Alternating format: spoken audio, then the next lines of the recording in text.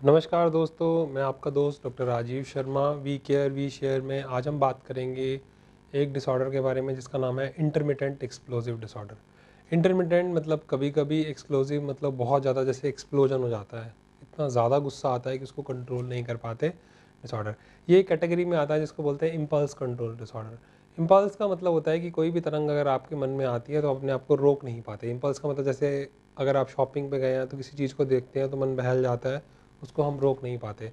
अगर गुस्सा आता है तो वो भी ऐसा आता है जिसको हम रोक नहीं पाते। तो इसमें ऐसा होता है, गुस्से छोटी सी बात से आ सकता है बट इतना ज़्यादा गुस्सा आता है कि इंसान उसमें तोड़ फोड़ कर देता है या किसी को मारपीट कर देता है या ये भी नहीं देखता कि सामने वाला उसका नुकसान पहुँचा सकता है और अपने आप को वो रोक नहीं पाता।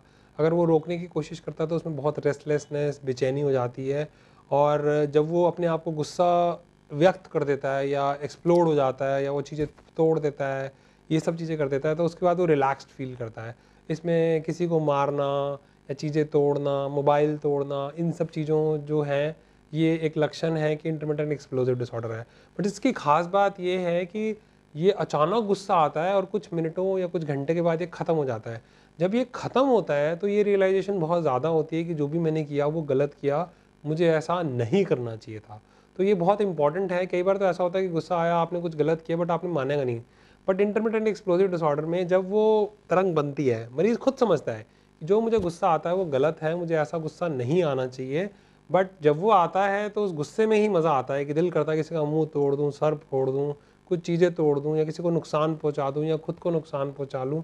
बट उसके बाद जब वो गुस्सा ख़त्म हो जाता है तो ऐसा लगता है मुझे ऐसा नहीं करना चाहिए था, इंसान शर्मिंदा होता है, बाकायदा माफ़ी माँगता है। बट कुछ दिनों बाद फिर कुछ ऐसा होता है कि वो अपने आप को रोक नहीं पाता है। तो क्योंकि इसकी वजह से उसके रिलेशनशिप में फ़र्क पड़ेगा, उसकी नौकरी पे फ़र्क पड़ेगा, गुस्से में कभी नौकरी चली गई, गुस्से में कभी वाइफ से लड़ाई होगी भाई बहन से कोई लड़ाई होगी और कई बार आपने कोई ऐसी हरकत कर दी कि सामने वाला उसे कभी भी माफ़ करने के लिए तैयार नहीं है।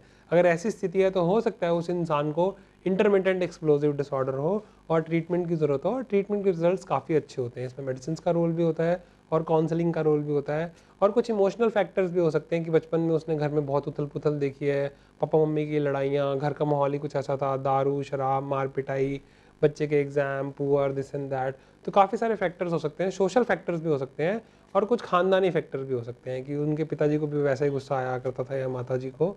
बट इंपॉर्टेंट ये है कि अब समस्या है तो उसका हल होना चाहिए बिकॉज़ उसकी वजह से हमारी रोज़मर्रा की ज़िंदगी में फ़र्क आ रहा है। तो आज के लिए इतना ही दोस्तों, धन्यवाद।